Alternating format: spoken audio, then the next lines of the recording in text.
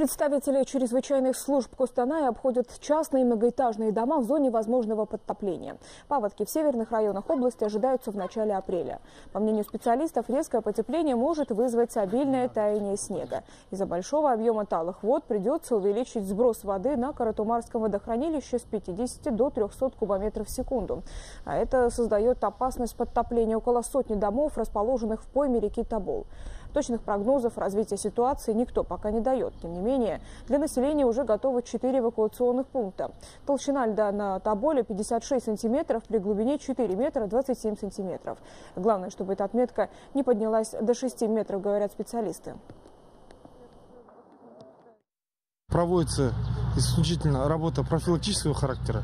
Мы предупреждаем э, граждан, чтобы они своевременно очищали свои территории и были готовы э, к наихудшему ситуацию паводковой обстановки. Это как действовать в этих случаях. Вручаем памятки, уведомляем под роспись, говорим, чтобы возили снег, э, что может возникнуть сложная обстановка.